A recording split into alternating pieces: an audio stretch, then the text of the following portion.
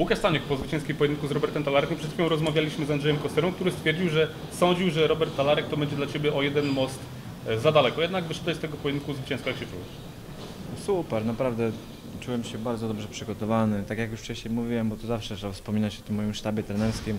Trener Karol Habros, świetna robota, Marcin Stankiewicz, Patryk Tkaczyk, Daria Albers, świetna trenerka mentalna, z którą współpracujemy już dłuższy czas. Jonatan Kujawa, dietetyk wspaniały, Przemek Wojdalski, no i ogólnie całej mojej rodzinie, i kolegom i calutkiej mojej rodzinie właśnie dziękuję za to, że, że mają do mnie cierpliwość i do mojej, dla mojej narzeczonej, kochanej, która też ma do mnie wielką cierpliwość i czuję, że budujemy to razem i dlatego tak właśnie wychodzą te walki, jak wychodzą, czyli zwycięsko. Jaki to był dla Ciebie pojedynek? Bo Talarek zaczął mocno i wydawało się, że może na, na- nabierać e, siły wraz e, z upływem rund, bo jest bardziej doświadczony, ale jednak to Ty byłeś górą w końcówce. Ja starałem się podchodzić do tego tak, że bo jednak ten dystans 10 rund jest, jest dość długim dystansem, do tego skupiałem się na tym, że każda runda to jest pierwsza runda. Jak wchodziłem do drugiej, czy do czwartej, czy do siódmej, to zawsze tak, tak mówiłem, że mówię pierwsza runda, także robisz to dalej. Nie, nie myśleć o tym, że ta walka się zaraz skończy, że zostały jeszcze dwie rundy albo ostatnia, bo to zawsze gdzieś jakieś rozproszenie w głowie. Także trzeba było. Jedyne co mnie troszeczkę rozprosiło, to w trzeciej rundzie jak usłyszałem, czy w czwartej, że u trzech, u trzech sędziów jest remis. Ale to tak na sekundę dosłownie, a tam jednak było troszeczkę inaczej.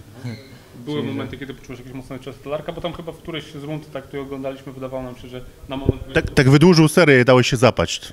Nie, podłączony nie byłem, ale w pierwszej rundzie poczułem, w pierwszej albo w drugiej rundzie poczułem cios na, na wątrobę. Ale to tak mm, ustałem nie ma problemu, także.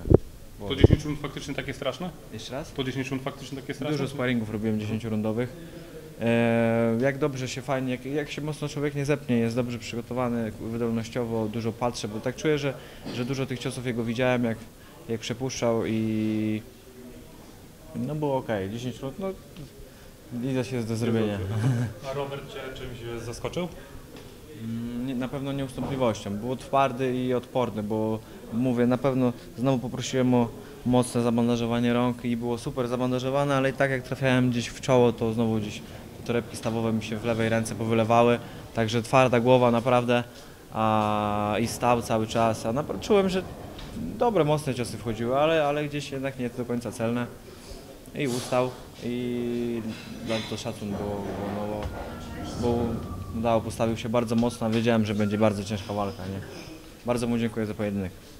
Łukasz, nie masz teraz takiego, takiej ochoty, żeby stoczyć jakąś jedną lżejszą walkę, bo Cię faktycznie bardzo mocno prowadzą i ten, ten, ten, ten pojedynek z Talarkiem to był naprawdę bardzo, bardzo mocny test jak na ten No, to znaczy dużo ogólnie tych walk jest teraz, ale tak ja tak od początku, bo ja też po boksie olimpijskim nie miałem jakichś dużych osiągnięć, bo byłem tam mistrzem Polski, cztery razy wicemistrzem Polski, no i ale miałem tych, boksowałem w Bundeslidze, miałem tych sporo tych walk, ale jednak gdzieś tam po mistrzostwach Europy czy mistrzostwach świata e, nie jeździłem, nie boksowałem na najwyższym poziomie i to wiadomo, że, że jeżeli chcesz coś osiągnąć, to nie możesz kalkulować. Jak rzucałem cię na głęboką wodę, to albo wypłyniesz, albo nie mi się udało, zapracowałem na to, dlatego bardzo jestem wdzięczny, mówię jeszcze raz mojemu sztabowi i ludziom, którzy są przy mnie. I no bardzo się cieszę, i, ale nie wyglądam jakoś mocno w przód, bo, bo ja też nie chcę gadać, że gdzieś tam będę za jakiś czas, bo mówię, półtora roku temu, czy tam nawet rok temu nie sądziłem, że będę w tym miejscu, co jestem teraz, a, a jestem, cieszę się bardzo i teraz chcę iść do mojej rodzinki, spędzić z nią czas, to jest najważniejsze dla mnie teraz.